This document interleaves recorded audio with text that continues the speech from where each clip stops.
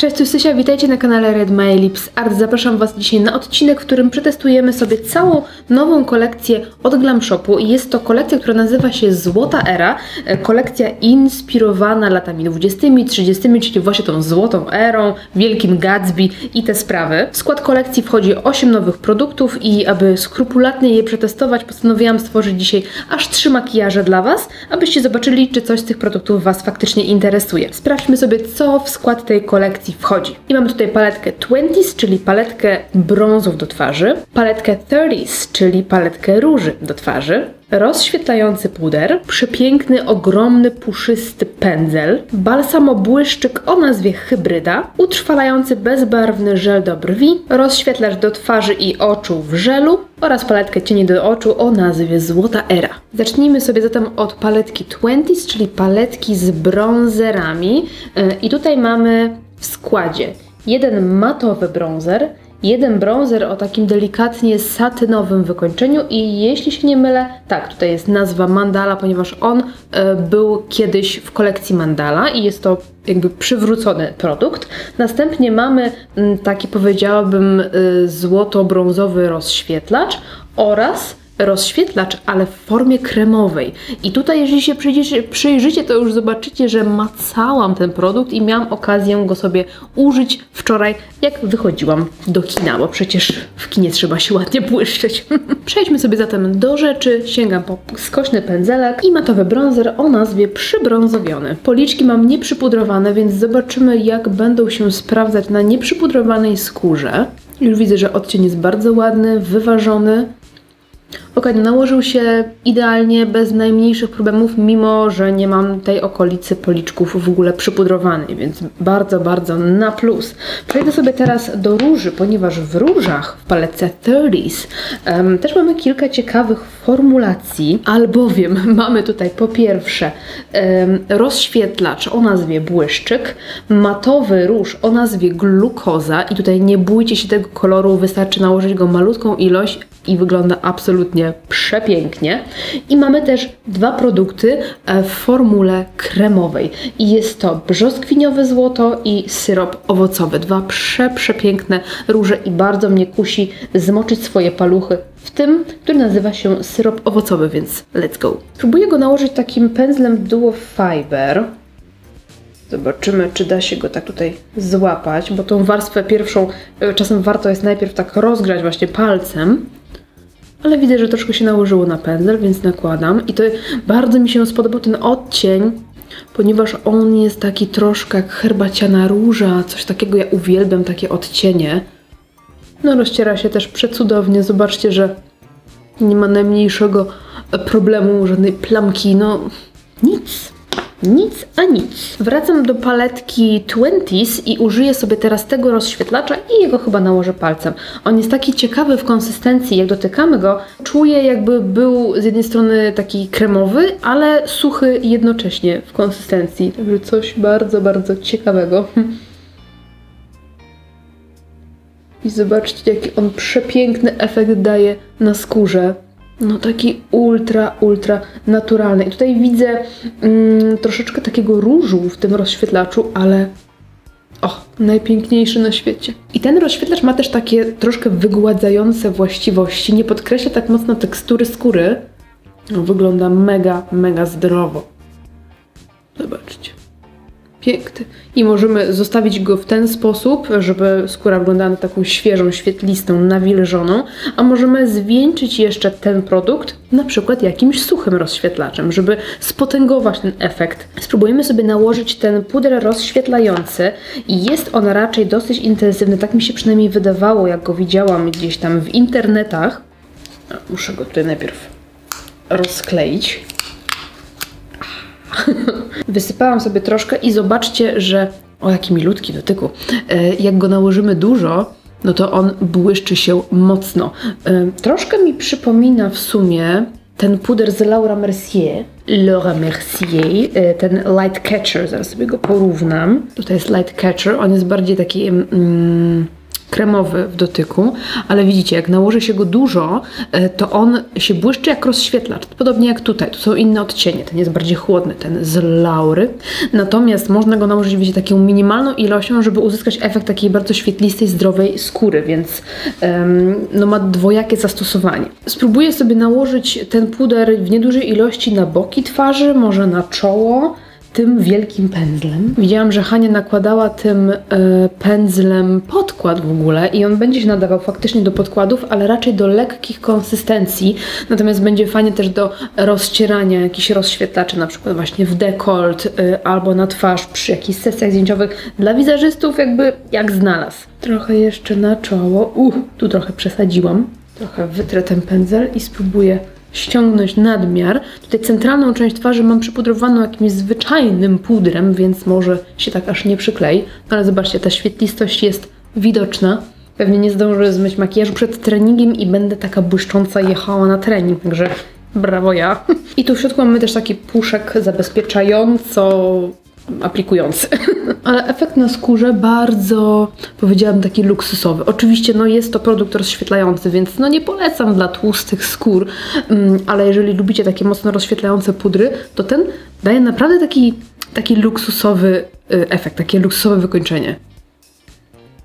Luxurious. Przechodzimy zatem do paletki Złota Era i tutaj widzimy, że mamy troszkę neutralnych odcieni, ale też takie wyraźne akcenty kolorystyczne, mm, jak na przykład zielony fircyk, fioletowe party, serpentyna, czerwona burleska czy brzoskwiniowa wyższa klasa.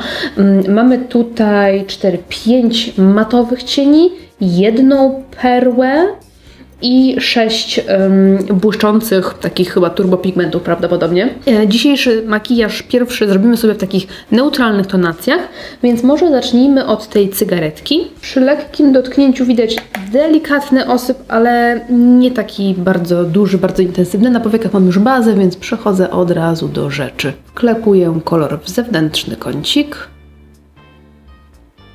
Bardzo ładny odcień brązu, bardzo mi się podoba. Me gusta. Przenoszę wyżej i załamanie powieki. W sumie powyżej załamanie powieki. Mniejszym bezelkiem nakładam na dolną powiekę w zewnętrznym kąciku.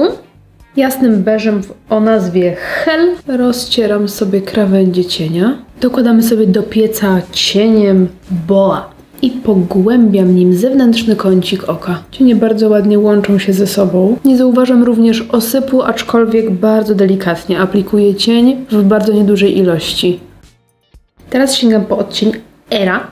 Era, era. I bez żadnej bazy aplikuję palcem na powiekę. Uuu, ładnie się to błyszczy. Zobaczcie. Ma taki leciutko zielonkawy podton. Nałożę ten sam kolor też na dolną powiekę. Zaczynam od środkowej części i idę ku wewnętrznemu kącikowi. I może w sam wewnętrzny kącik wybiorę perły. To jest taki perłowy, bardzo jasny odcień. Uuu, ładne te perły mają troszeczkę różu w sobie. Mm, very cute. Wiecie co, spróbuję sobie zrobić jeszcze fioletową kreskę tym odcieniem serpentyna. Zobaczymy, czy uda się nałożyć go na mokro. Wyciągam w zewnętrznym kąciku. Tak się prezentuje kreska. No, odcień jest prześliczny do takich nawet właśnie brązowych makijaży. Fajne takie przełamanie kolorystyczne. Tuszuję rzęsy. Na usta nakładam konturówkę Diana. I spróbujmy sobie tą hybrydę błyszczyko balsam.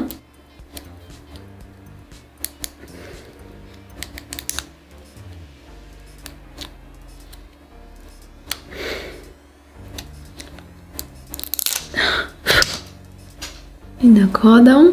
Mm, jest faktycznie bardzo komfortowy. Pierwszy makijaż skończony. Tutaj żaden z produktów mnie nie zawiódł. Wszystko sprawdziło się jak najbardziej w porządku. Zobaczcie, że mój policzek błyszczy się bardzo, bardzo intensywnie ze względu na użycie tego rozświetlającego pudru. Więc jeżeli nie lubicie takiego mocnego blasku na całej skórze, to myślę, że bardziej sprawdzi się w formie sypkiego rozświetlacza.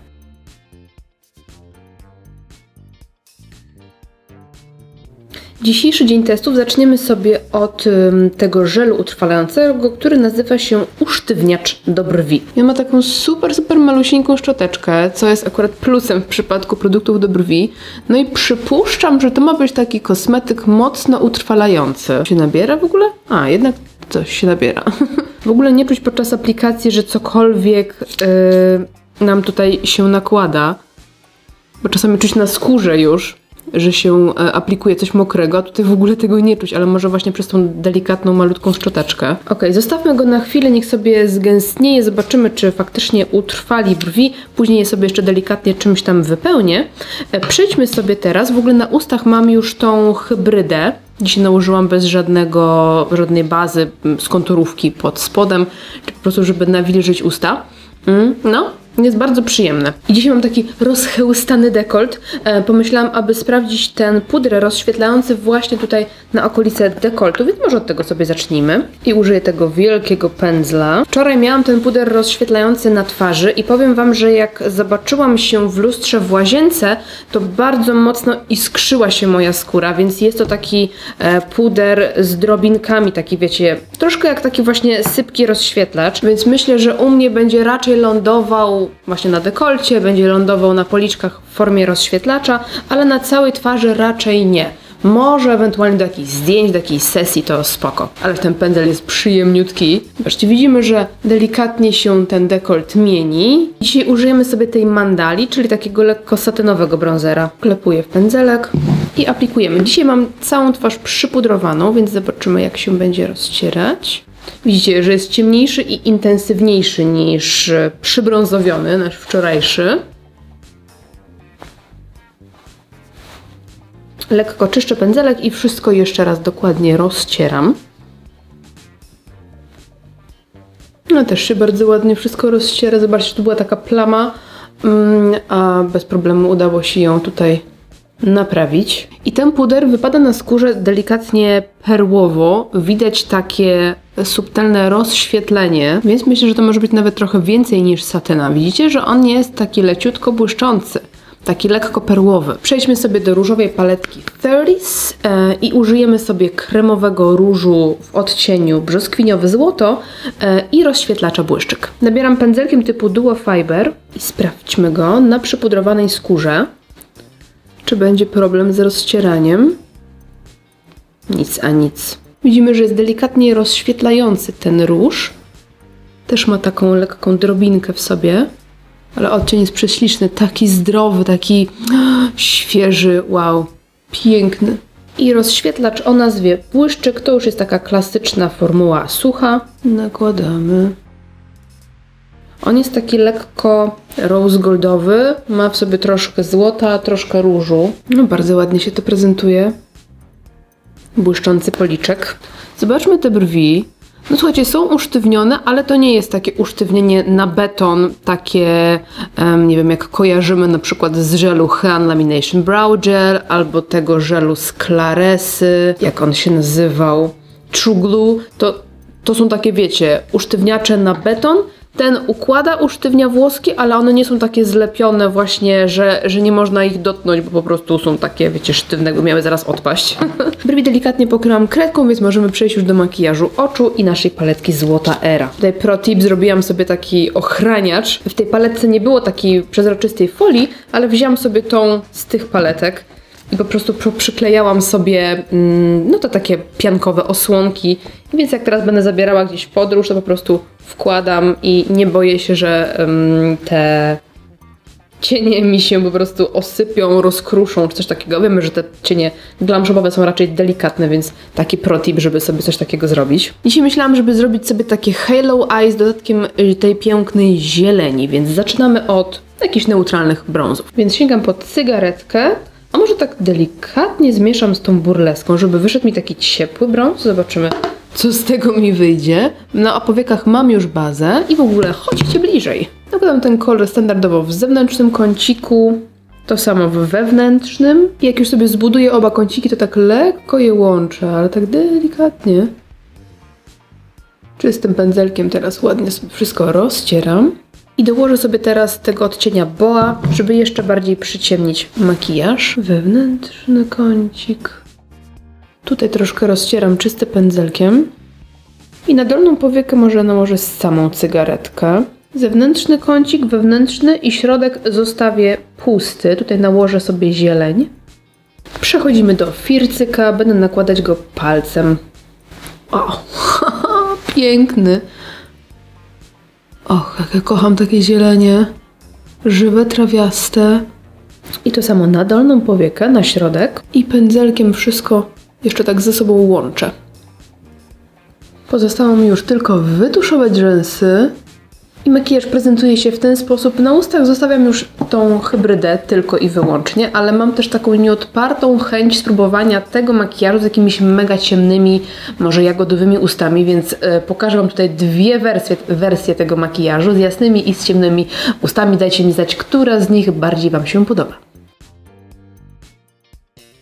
Trzeci makijaż i trzeci dzień testów zaczynamy.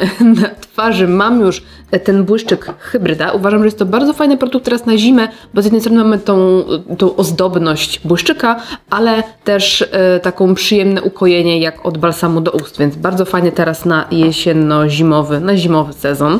E, mam też na brwiach ten żel usztywniacz i on usztywnia moim zdaniem tak no w sensie, no te włoski faktycznie gdzieś tam są utrwalone, ale myślę, że dla opornych brwi, takich naprawdę ciężkich do ułożenia, on będzie zdecydowanie za słaby.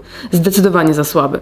E, nie zrobimy nim efektu soap brows, że sobie bardzo mocno wyczyszczamy te brwi, więc tylko bardziej tak ułożymy. Więc jak lubicie super mocne utrwalenie, to uważam, że ten jest za delikatny. Przechodzimy do makijażu twarzy i zaczniemy sobie dzisiaj paletką 30s i zaczniemy sobie od tego pięknego różu glukoza. Biorę sobie skośny pędzelek i dosłownie raz zanurzam e, pędzelek w różu. I lecimy na policzki. To jest piękny, zdrowy rumieniec. Prześliczny kolor. Tu jest w tej palecie 20s jeszcze złote światło i to jest taki, widzicie, taki złoty, ciemnozłoty rozświetlacz. Nie wiem do końca jakbym miała go użyć. Pomyślałam, żeby nałożyć troszkę tego matowego bronzera na twarz i na to troszeczkę tego złotego światła, żeby zobaczyć w ogóle jak to jest, z czym to jeść taki jakby złoty, ciemny jakby brązowy rozświetlacz, czy brązer po prostu błyszczący, nie wiem jak to do końca nazwać, jaki był zamysł. I sięgam po złote światło i może nałożę tak bardziej tutaj na okolice policzka, żeby właśnie mieć taki, właśnie może ten produkt ma być takim, wiecie, jakby rozświetlającym różem brązerem, coś, coś takiego, żeby tak na policzek tutaj nakładać. Ale spróbujmy też tutaj na czoło. No, tak się delikatnie mieni jak rozświetlacz. Zobaczcie. Widać takie rozświetlenie delikatne. E, I myślę, żeby jako rozświetlacz użyć sobie dzisiaj tego pudru rozświetlającego i zobaczyć właśnie jak się będzie sprawdzał w roli rozświetlacza. Wysypuję troszkę na wieczko i nakładam. Uuu, dobra, okej. Okay. No nie ma co ukrywać, że, że ten rozświetlacz ma moc, ten puder. No przepięknie wygląda. No zdecydowanie w formie rozświetlacza podoba mi się bardzo, bardzo. Dzisiaj polecimy sobie w krainę fioletów, więc zaczynamy sobie od serpentyny. Na powiekach mam już bazę, więc lecę z zewnętrznym kącikiem. Biorę troszkę helu i rozcieram mój fiolet. Spróbuję trochę dołożyć, zobaczyć, czy tutaj jeszcze dam radę zbudować intensywność jednym kolorem. Troszkę coś tam się buduje jeszcze. Dobra, przechodzę teraz do mniejszego pędzla i nakładam trochę na dolną część powieki. Delikatnie zintensyfikujmy sobie jeszcze ten makijaż cieniem Boa. Chcę sprawdzić um, po prostu jak mocno można przyciemnić makijaż tą paletą, jak intensywny można zrobić. Następnie sięgam po odcień party, oczywiście paluchem, bo jak żeby inaczej i nakładam na resztę powieki. Mniejszym pędzelkiem rozcieram tą górną krawędź. I nałożę też trochę tutaj w wewnętrznym kąciku na dolnej powiece. Ale, ale, mamy w kolekcji również taki produkt. Ja o nim absolutnie nie zapomniałam i sobie go teraz użyjemy. Jest to, tutaj jest napisane, że jest to rozświetlacz do oczu i twarzy w żelu. I on się nazywa Era, odcień Era. E, I to jest taki, o, żelek, który można nakładać na całą powiekę, można rozświetlić nim wewnętrzny kącik, czy łuk brwiowy, można nałożyć na twarz, e, z tym, że on ma taką lekko przyciemniającą bazę, dlatego jako taki typowy, o widzicie, rozświetlacz to bardziej może na jakichś super e, opalonych karnacjach albo po prostu latem. I my sobie użyjemy tego żelka, żeby rozświetlić wewnętrzny kącik. Wow. O, widzicie to? To jest po prostu tafla. To jest efekt e, po prostu takiej, takiej mokrej skóry, mokrego kącika. No po prostu to robi na mnie przeogromne wrażenie, wow. Nałożę też trochę. Tutaj może. O.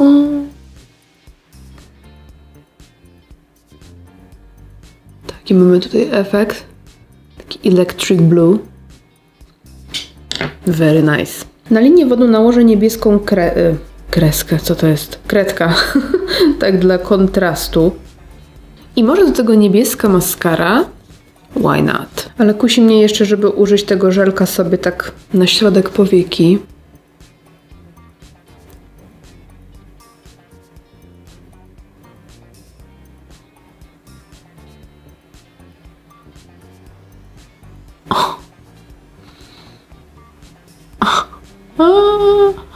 Wzywajcie policję, to jest nielegalne.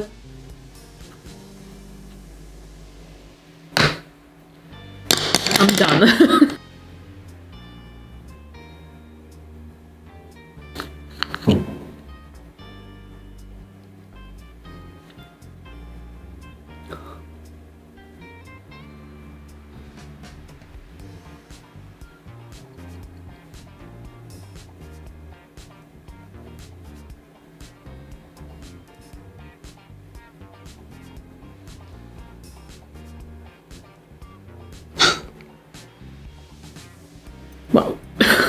W ogóle połączenie, zobaczcie, połączenie fioletu i niebieskiego.